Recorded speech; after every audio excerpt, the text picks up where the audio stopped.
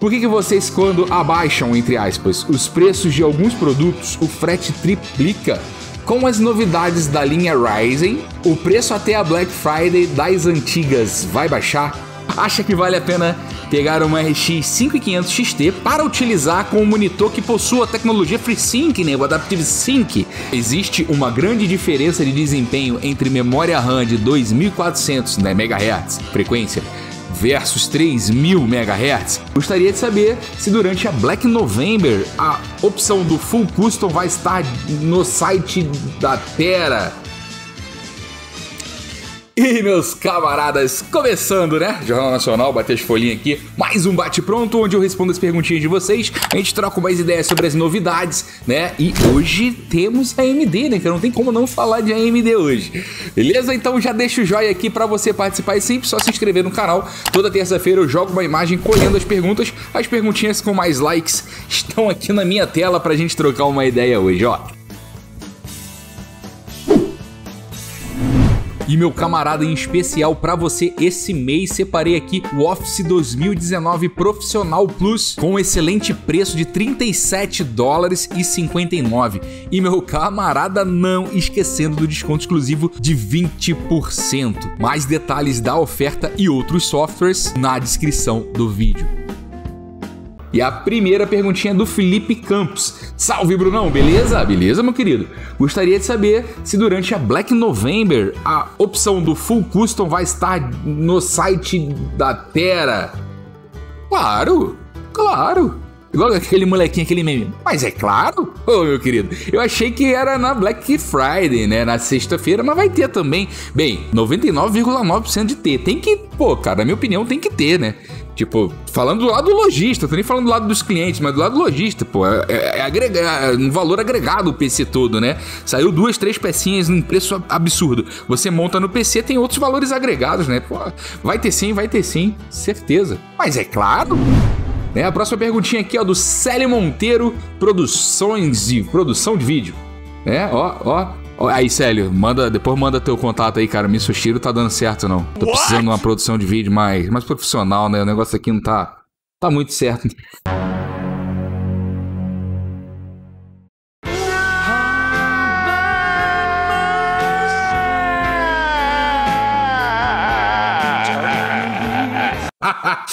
Missoshiro, I love you, meu querido. Mas é claro! Fala, meu garoto, fala, parceiro. Existe uma grande diferença de desempenho entre memória RAM de 2400 né, MHz, frequência, versus 3000 MHz e as CL16, CL15, CL14, né? Então ele falou aí de frequência e a latência, né? Então, cara, assim, existe, lógico que existe a diferença, mas para nós, produção, ainda bem que eu li teu nick inteiro, né? Teu nome inteiro aí, produção de vídeo, para jogos, né? Onde a maioria que tá assistindo a gente agregar valor para todo mundo aqui. Não tem tanta diferença assim, né? A maior diferença no, na questão do no quesito instrução de quadros é mais no processador, né? Um, o mais comum que a gente tá, costuma trabalhar aí, que é o 3000 MHz, 3200, CL16, no máximo ali um CL15. Ó, frequência, pra galera que não manja nada, frequência quanto maior, melhor, né? É, latência quanto menor. Latência é o tempo, né, daqueles clocks, daquele ciclo de clock, né? O tempo mais curto. Então, mais ciclo de clock menos tempo, deu para entender, né? Acho que o Misoshiro consegue ilustrar isso aí pra gente. Acabei de dar uma xingada nele, agora eu peço favorzinho. Então a minha recomendação aqui é, é no padrão, né? No padrão que a gente tem, né, dos processadores de hoje, 3600, 3700X, né, 3 até 3600 ali não tem tanta diferença. Quanto maior aí é muita grana para pouco desempenho, né? Então CL16, que é o mais comum, CL16, 3, 3200, tá safe, meu querido, já tá safe, né? Lógico que a gente vai ter uma diferença, né? Não, você perguntou grande diferença. A gente vai ter uma diferença, né? Do 2133, né? Geralmente é CL15 para um é, 3, 4000 MHz CL14, né? CL15, né? Um 3600 CL12, CL11, as memórias aí. Mas não se atente a isso não, meu querido. Ricardo Fuzetti. Fala, Brunão, beleza? Beleza, meu querido? Há alguma diferença? Opa, só tô querendo diferença hoje de desempenho em games para PCI Express 4.0 para PC Express D, né? 4.0 versus 3.0. Justifica a troca? Cara, ao pé da letra, sua pergunta não! Ainda não, é tendência, né? Vocês viram aí que já, já teve, já, já estão falando já de 11 geração da Intel, vão vir com suporte ao PCI 4.0. É uma tendência, né? Vai, é, para NVMe, né? Barramento maior, largura de banda maior, né? Isso aí é tendência, claro. Mas hoje, o usuário comum nem olha isso, nem, nem olha isso, mas é tendência. É tendência. Vai dar uma diferença num, num certo tempo aí, difícil a gente prever, mas daqui a um tempo a gente vai sentir a diferença, né? E o Gabriel Silva aqui, fala Brunão, beleza? Você já me ajudou a sanar muitas dúvidas e espero que possa me ajudar com essa também. Eu também, né? Espero.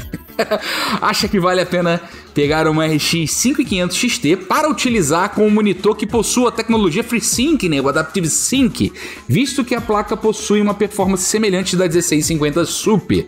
Lembra você que as GTX também, né? Estão utilizando, né? Desde que desde a Ai, bicho cheiro. Salva nós, moleque. Faz a pesquisa.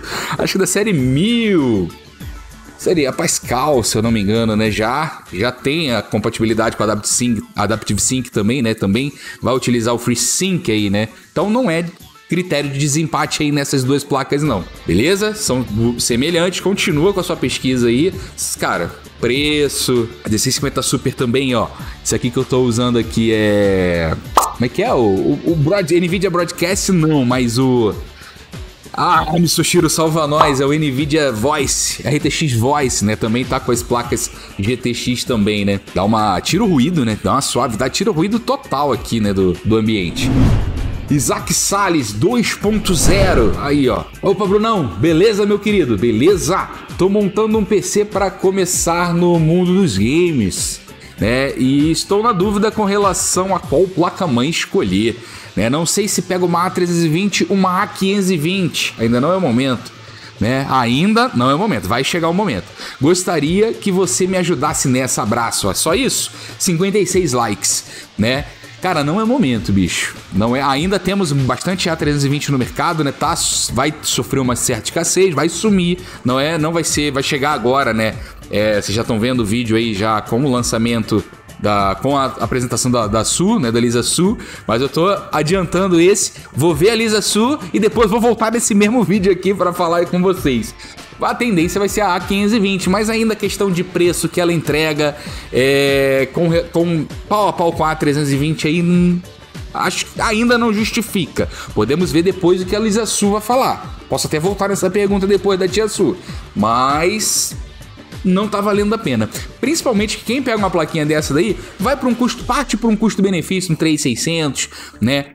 Um 3300X, um 3100 uma plaquinha de vídeo dedicada ali, né? 1650 Super, 1660 Super, 2060, né? Fica nessa meiola aí. Então, não, na minha opinião, não justifica o, o preço. Preferia até pegar uma B450 com o preço da A13 da A520, né? Que aí sim vai te dar mais recurso, vai fazer um overclock, né? Tem mais recurso chipset melhorado. E a próxima perguntinha aqui do Samuel da S Miranda. Por que quando vocês abaixam, vocês abaixam? O que, que eu abaixo, meu querido? Eu não sou loja, eu sou Brunão eu Tech. Ora, vamos lá. Que que eu... Entendi a referência, entendi.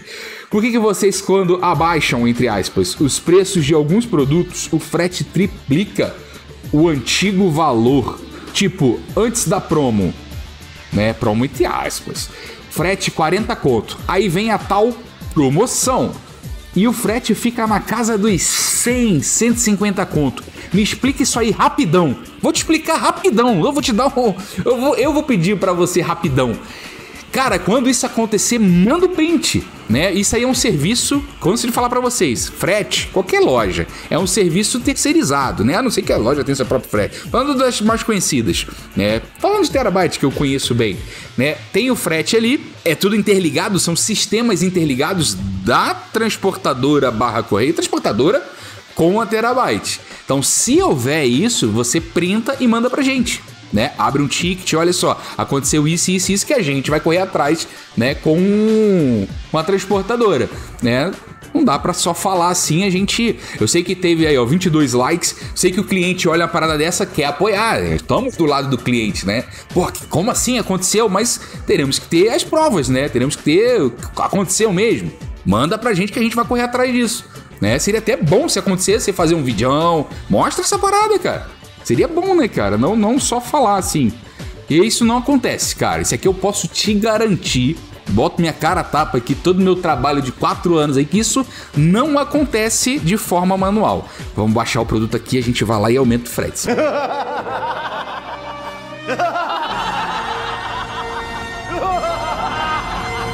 Isso não existe. Cara, isso eu posso garantir para vocês. Beleza, Samuel? Não estou duvidando de você, meu camarada, não estou duvidando. Mas seria bom você, quando acontecer isso, fecha os printzão lá e manda, cara, pra Terabyte, para eles correrem atrás, que sair alguma coisa lá com o sistema da transportadora, né? Não tô duvidando, mas seria bom a gente ver isso aí. Então são 10 horas da manhã, né? Tô gravando aqui da manhã, né? Do dia 20, do dia 8. E uma hora da tarde teremos conferências da AMD. E olha a perguntinha aqui do, do, do Danilo Danilo BR Play Gamer. Com as novidades da linha Ryzen, o preço até a Black Friday das antigas vai baixar? Né? O preço até a Black Friday das antigas seria a terceira geração? Vai baixar? Eu já respondo que sim, mas eu vou dar um pause, me sugiro dar um pause aí que eu quero voltar depois da Lu, depois da tia Lu, fazer a apresentação dela. Fechou? Daqui a pouco eu volto. Dois mil anos depois. Dois mil anos depois, cara, vai ser substituído, lógico, vai ser substituído. Com o tempo, vai Cara, eu tô desse jeito. Pra você que não viu, meu amigo, o lançamento, né? Eles. A, ele, a lançamento não, a apresentação, né? Eles apresentaram o 5600X, o 5800X, 5900X, 5950X. Do R5 pra cima, né? E só a versão X, onde o 5600X com preço de 2, 299 dólares. Mas, Brunão, 299? O, 5, o 3600 XT, né, que teve o lançamento há pouco tempo, no meio da pandemia, foi de 250 dólares, né? 50 dólares a menos. Cara, com 50 dólares a menos, né? Ele está sendo praticado hoje R$ 1.800 mais ou menos o preço do, do 3600 XT, o XT, né? O 3600, 300X não, né? O 3600 está R$ 1.500. Mas cara, com esse preço de 2, 299 dólares, eu fiz uma regrinha de 3 com um preço de 500 dólares da RTX 3070, né? Que tá chegando aí a 4 mil reais. Então, meu irmão, uma regrinha de 3 sai a 2.400 reais, um 3600X né? Preço aí do 3,800 3800X, né? Mais ou menos, com o Cooler Box. E lembrando que só ele vai ter o Cooler Box, né? Só o 5600X vai ter o Cooler Box. Daqui a pouco vai sair um 3700X, um 5700X, né? Tente acostumar aí. Um 5600, né? Não tem previsão aí para sair os modelinhos custo-benefício da galera, né? O, o 5300, sei lá, né? O Ryzen 3, APU também não tem previsão, não foi anunciado. Então, meus camaradas, dê uma voada aí pra Black, hein? Lançamento vai chegar nas lojas aí. Né? Tudo indica que, né, a gente tá vivendo um momento de escassez, mas tudo indica que dia 5 de novembro chega, ou seja, a Black November na Terabyte, a Black Friday em todo o Brasil pode ser movimentada com, esse, com essa chegada, mas né, eu já venho falando para vocês da certa escassez que está sendo encontrada, né? Eu tenho contato com lojas, eu sei, está sendo encontrada aí no, nos, nos Ryzen Zen 2, né? De terceira geração, né? Agora vai confundir que o Ryzen de quarta geração 5000, ah, mas enfim, o Zen, vamos falar de Zen 2 e Zen 3, né? Então as lojas já estão encontrando uma certa escassez nesses processadores no Zen 2. Deve ser já para ser substituído. E os preços anunciados aí bem acima do que a gente vem encontrando estão sozinhos, né, cara? Vocês viram no lançamento lá? Promessas aí de serem bons processadores para jogos, né? O R9 o 5900X, né, com single core, não é no, ele tem mais núcleo que o, que o i9, né, o 10900K, mas no single core batendo, sendo o melhor processador para jogos, não o melhor custo-benefício, mas sim o melhor processador para jogos. Bons produtos, bons produtos, mas tudo que é bom, soberano, você tem que pagar o preço. Acho que agora vai dar uma mudada nos fanboys aí da, da AMD, né? galera agora vai dar acreditando na Intel? Quanto tempo, minha querida? Agora falando de Black, deu uma zoada, deu uma zoada. De repente a AMD faz alguma ação com algumas lojas, né? Não sei, não tô passando informação privilegiada para ninguém. Mas de repente faz, né? Que já é um produto que já quer ser substituído. Agora, bons produtos esses Ryzen 3, hein, cara? Bons produtos. Né? Vocês viram lá o CSGO. Isso não quer dizer que, ah, um processador de sei lá, 800 dólares para CSGO ou, ou de 550 dólares para CSGO.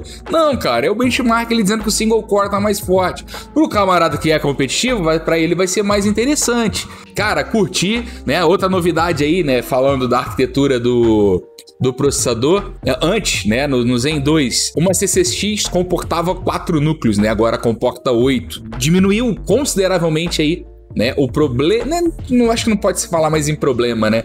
Mas diminuiu consideravelmente a latência. E isso, cara, combinado com a toda a nova arquitetura, bush, né, clocks mais altos. Isso aí é, é, o, vai ser o reflexo. É lógico que aquilo ali são testes da AMD, né? Mas isso aí vai ser o reflexo dos novos processadores da AMD. Cara, curti a performance, mas aí no preço, meu camarada, você quer você quer bem, quer um negócio bem feito, tem que pagar mais caro.